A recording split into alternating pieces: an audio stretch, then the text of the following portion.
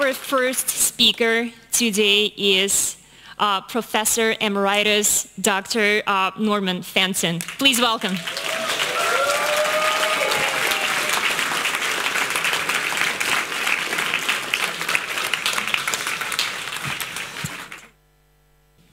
For those of you who have commented on the colour of my suit, I bought it yesterday. I'm colourblind. And I, I, I, I actually thought it was a neutral grey colour. So anyway. So, some, so some of you may know that I spent much of the last three years showing that the entire mainstream COVID narrative was driven by easily manipulated statistics based on flawed definitions, data and modelling in particular equating a COVID case with a positive PCR test result everywhere in the world must go down as one of the biggest but also cleverest scams ever devised. So, COVID was never as lethal as claimed, the testing was never accurate, and the vaccines are neither safe nor effective as claimed. And of course, for simply providing the data and analyses which demonstrate these truths, I was called a conspiracy theorist and a rabid misinformation spreader. And my previous career, in which I was considered to be a leading expert in probabilistic risk assessment with seven books and over 300 peer-reviewed papers, counted for nothing. All my and my research group's papers on this subject were essentially censored and I was treated like an academic pariah. Now the thing is, why am I telling you this now in this session? Because the same type of data manipulation and flawed modelling have been used for many years to exaggerate the climate crisis and the impact of humans on it. I claim no expertise in climate science. I do have some relevant insights into the academic and media enterprise around this to know that the claims of imminent and inevitable catastrophe is also an enormous scam. And that's because in 2015, I was chosen by a national publicly funded broadcaster, you can guess who that is, to present a documentary about the mathematics of climate change, along with two other mathematicians who have gone on to become extremely high-profile science presenters for that broadcaster. In contrast, my TV career started and ended with that documentary, which although it, which although it, although it won many awards, was fundamentally flawed. Working on it revealed to me how biased and corrupt the climate change industry is and how compromised the academics are.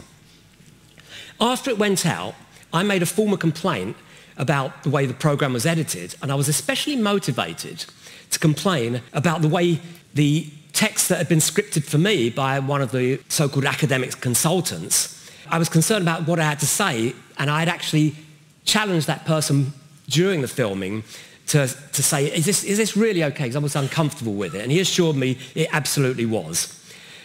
It turns out that after the program went out, one of the main claims that I had stated, it turns out that in his own recent paper, recent research paper, he contradicted it himself. It was clearly not the case. So I decided, I phoned him up to, to challenge on, on, the, on this. And what do you think his response was? We all have to lie for the greater good. Even worse, when I recounted this story to other academics, instead of being horrified, most were in total support of what the professor had said. And one of the few who wasn't, very eminent um, statistician, who was genuinely well qualified to know how the statistical models were flawed, told me they couldn't go public on it as it would ruin their prestigious career. Now, what has been very effective then is the mass censorship of dissenting voices who raise concerns about both the climate narrative and the COVID narrative. And the same censorship is being used to shut down evidence about how unnecessary and devastating the net zero 2050 target will be for normal people. Now, because of much of the research that I was doing pre-COVID about risk assessment for chronic health conditions was relevant to the COVID conversation, initially I was invited to speak on a number of panels because I hadn't yet been challenging the narrative in a way which they considered to be dangerous. And on one of these panels, shortly after the lockdowns began in, 2000, in the spring of 2020, I was with three other academics from different disciplines to talk about the likely impact of the pandemic. And there's a bitter irony here Because when COVID skeptics talk about the World Economic Forum and the Great Reset, we're called conspiracy theorists. But actually, the first time I heard about the Great Reset, and that exact expression, along with the Build Back Better, and in particular, the exact phrase used by Klaus Schwab and all, all the other WEF people that this is the opportunity for a great reset, was on that panel by those other academics. They all said the same thing. They were genuinely excited about the lockdowns because they saw them as a way to save the world from climate catastrophe. And these academics, all progressive liberals, should have seen this as the attack on civil liberties, freedom of speech and movement, and the massive transfer of wealth from the lower and middle classes to the upper rich and multinational corporations, they became the flag bearers for the very institutions that they previously claimed to hate while applying the jackboot to the working classes that they previously claimed to defend. And it was clear to me at that point, straight away, that the COVID lockdowns were always going to be a precursor for the inevitable climate lockdowns, which are happening in an increasingly subtle way. And for saying that, of course, I was called a, a massive conspiracy theorist, but as you can see in their own words, I said that before all of these reports came out. They're saying exactly what I was saying and called a conspiracy theorist for saying it. They certainly never hid that agenda. The plans were in plain sight. Now, all of the Western governments are committed by law, of course, to net zero greenhouse gas emissions by 2050. But even if you think this ludicrous objective is required, the problem is that we don't have the technology for either the large-scale carbon uh, capture and removal or for the non-fossil fuel mass transportation systems and manufacturing to achieve that. And that means realistically, if you want to get to net zero, you have to go for something called absolute zero, which is exactly what this major UK government-funded consortium of climate and energy scientists from Oxford, Cambridge, Imperial, etc., came up with, this so-called UK FIRES project. Now, interestingly, their plan was published well over two years ago. In fact, I knew about it then and actually tweeted about it. Nobody was interested. It was actually presented in the House of Lords, but it didn't get much attention until actually, curiously, I don't know why, I tweeted about it a few weeks ago, highlighting some of the key components of the plan, and then suddenly there was an enormous amount of interest.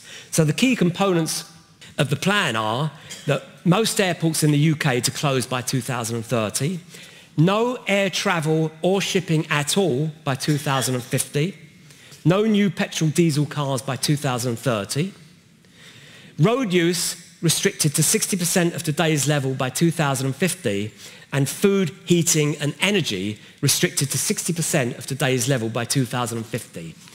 Beef and lamb to be phased out by 2050.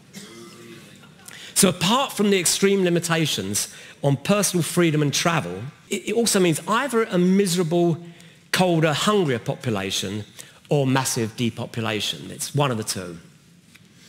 So I want to end with an anecdote that sums up much of what I've said. After I presented the climate change documentary, it was assumed that I was one of the clan. And I got invited to a few of their meetings, particularly some of the academic meetings. At one of these meetings, a scientist presented comprehensive evidence that a warming of 1.5 degrees centigrade would have a very positive effect on the population of people in the northern hemisphere. And that's because far more elderly people die of cold than from heat. And in the UK alone, the evidence, very convincing evidence was presented that that would mean net thousands of elderly lives were estimated to be saved annually. And I was both surprised and comforted to hear this at such a meeting until I heard what the speaker said next. The speaker then said that obviously this is a message which we must never promote publicly as it would compromise the movement. Thank you very much.